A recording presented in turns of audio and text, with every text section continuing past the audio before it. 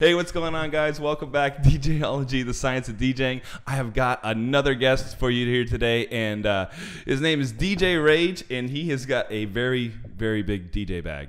I do. I carry it everywhere. He carries it everywhere. Go ahead, and tell him a little bit about yourself. Uh, Um, I don't know. Okay, Let's see if I can make that more more awkward. Nah, What- what- we I, got- like, I like long walks on the beach. I'm a Libra.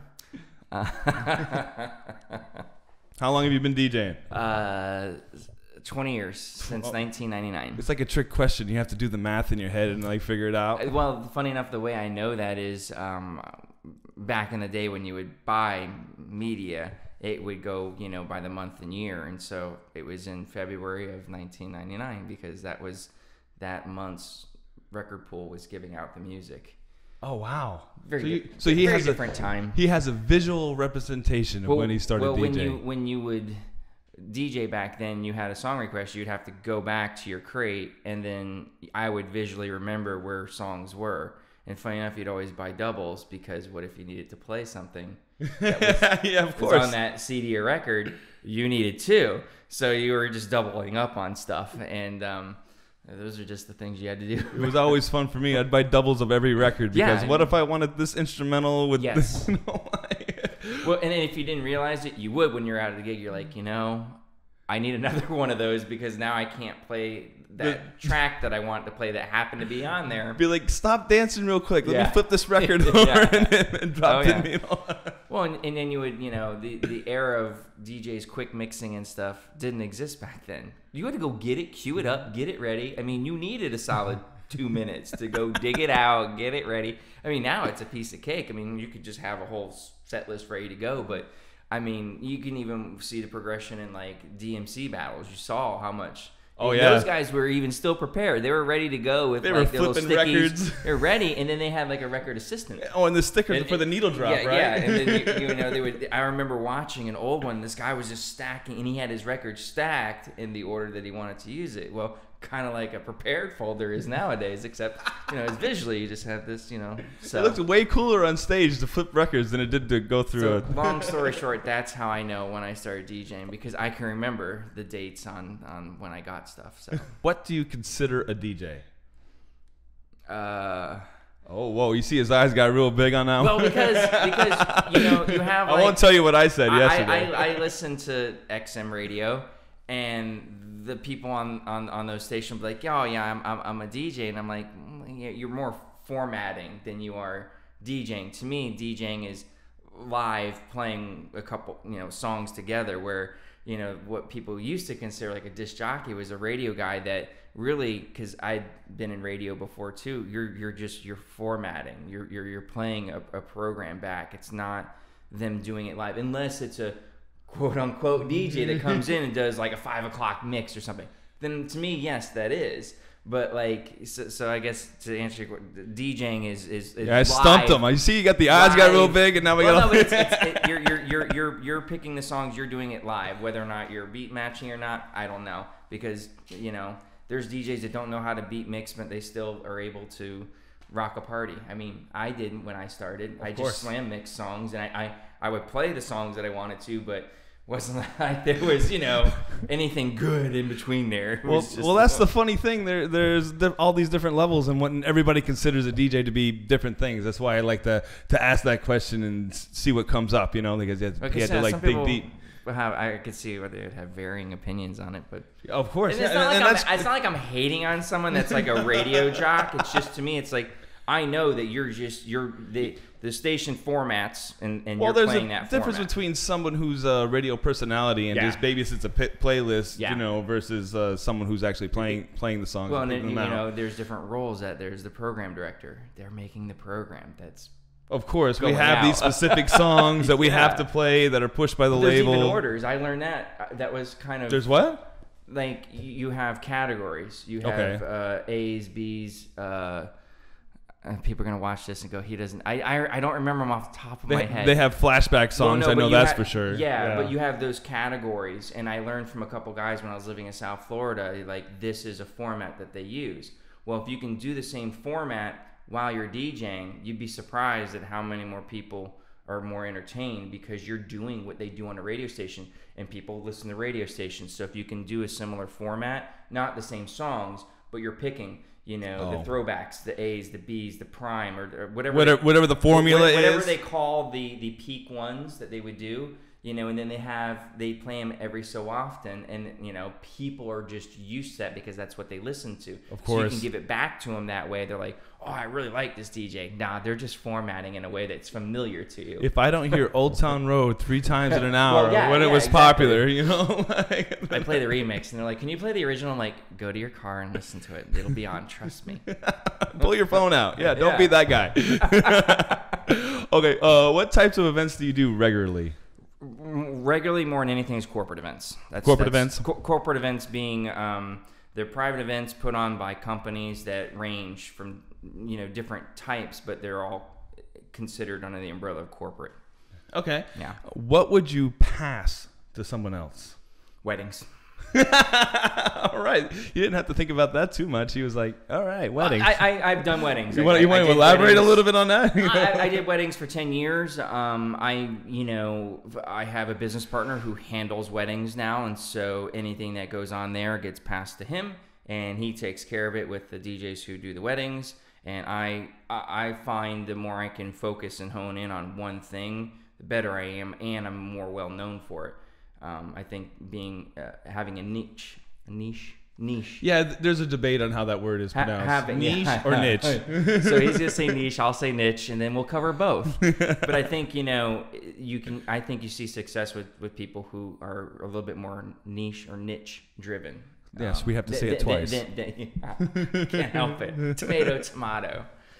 Um, so, so I, I just try and focus. I, I really try and focus on one thing. Um, we I have like weekly gigs too, but those are just kind of filling for when I'm not doing other uh, corporate event stuff. So. Cool. Okay, this is this, this one might take a bit, but we'll, Oh, we'll oh. see. What software talents have you accumulated through the years to maintain the gig or the job, the career?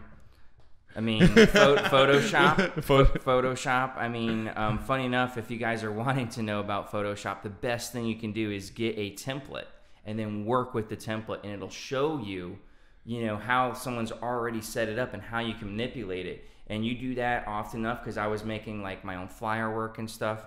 You do that every week, week in, week out, and I guarantee you, within a year, you'll you'll know way more. And you don't. I I I maybe did a handful of things on YouTube looking up tutorials, but the templates that you can yeah, buy, like the templates, it- reverse well, reverse engineering yeah, templates. Yeah, exactly. And the same thing with the question uh, video editing. I did the same thing, and Like how many softwares did you learn how to video edit with? Just one. Just one. It was enough. I mean, was I mean, like, that could be a uh, chapter in itself, well, right? it was uh, Sony Vegas um, on a PC. Um, I know you like to do uh, more on Mac. Um, I do Premiere, yeah. Yeah, so uh, it was one of those things where reverse engineering, and also uh, you're gonna laugh.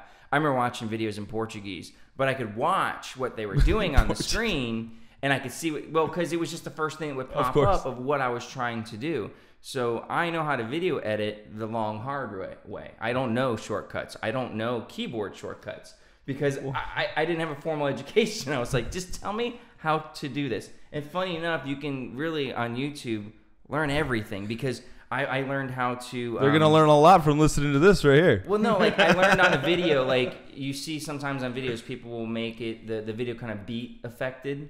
I learned Oh, how key I could, fra- keyframing, yeah. yeah, I learned how to do that fairly quickly because Oh, I watched the video and someone showing me and whether or not you would quote unquote say that's the right way. It was a really fast way to do it. There is no right way. It's like whatever way he gets it done, right? Yeah, that's the one yeah, rule. yeah. That's the one rule Well, about the just- entertainment I business, right? Oh. I wasn't in school. I wasn't, oh. so I didn't know if there was a quote unquote the the, the a better. Oh, I'm, I'm sure. I'm going, sure there's so- yeah. If there's one message to give out to the people uh, watching the channel, there's multiple ways to get to Oh, yeah. your, your end value. You Yes. know. yeah, and and YouTube it. You go, like you're seeing this on YouTube.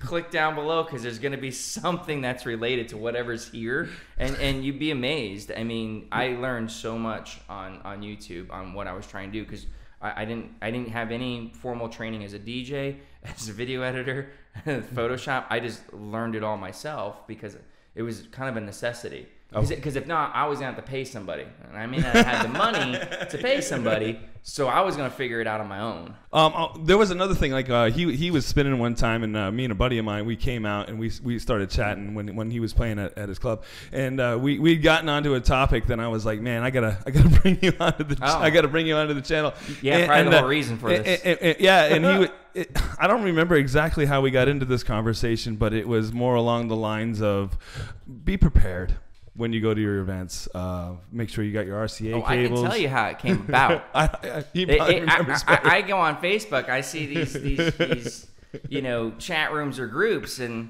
you know I left this cable or that cable. You know, Slip can you mats, help me out? And these cables are not expensive. Why don't you have the backup? Why don't you not only have a backup? Why don't you have something in your car?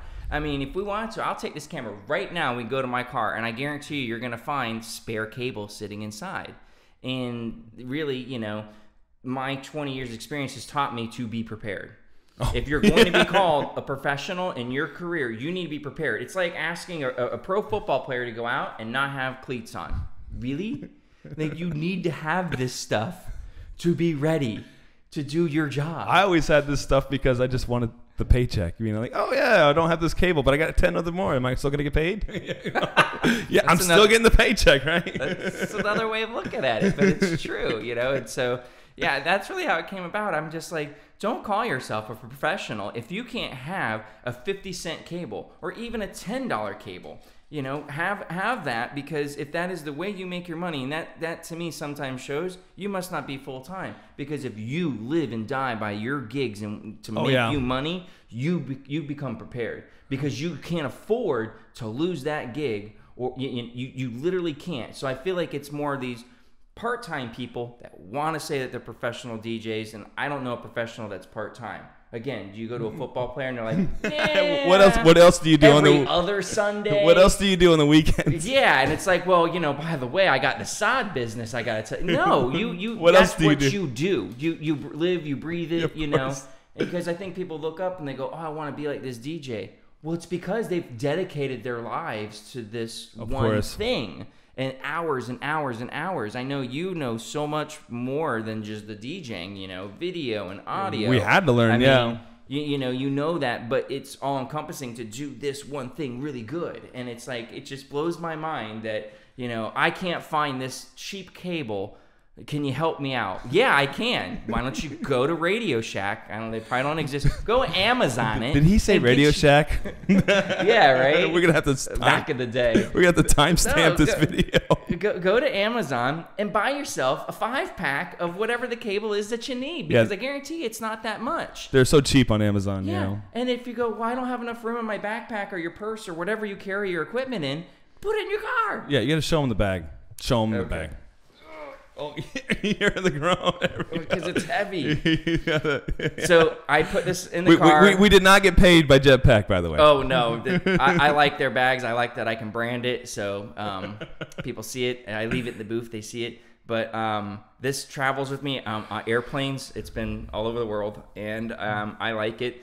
Um, there's plenty of other packs, but Jetpack, you know, you see this. Uh, thank you for some love. Maybe no. Okay. All right. Um, but yeah, there, there's, there's, there's compartments galore. And it's, Yeah. it's, it's heavy. But you know, I, I literally grabbed this when I came over here to do this interview, and, and what's in here is what I gig with every week. And I, I make some changes here and there, but I'm very meticulous. I put everything where it needs to go. It all goes back. I don't just throw it in there because if I need something, I need to know where to go and I need to know where it is.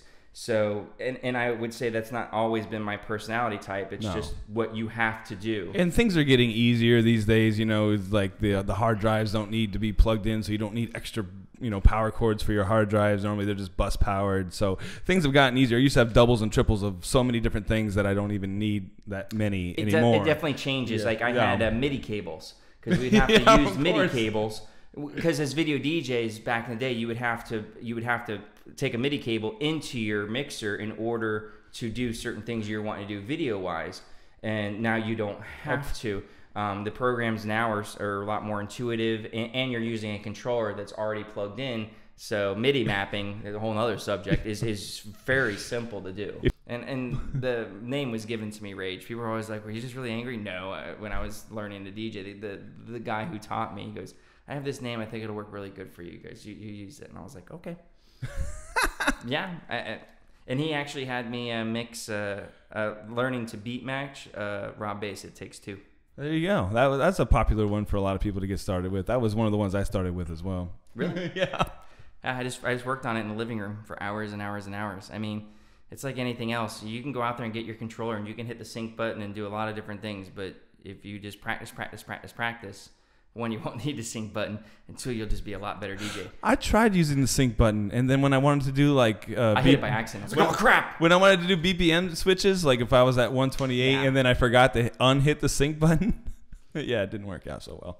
I'm pitching and it's not going anywhere. yeah, I know it sounds like garbage. And, and honestly, there is a time and a place I think for a sync button. Let's say you want to throw an acapella on real quick.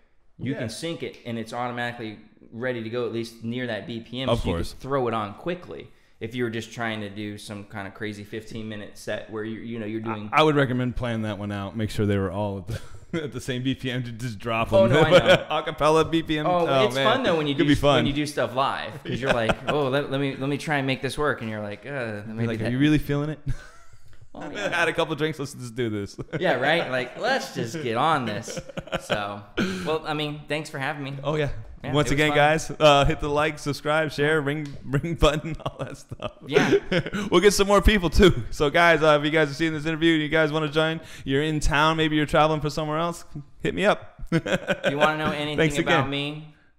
Yeah, uh, Look me up. You have links and stuff, right? We'll put it on. Um, yeah, uh, DJ Rage videos.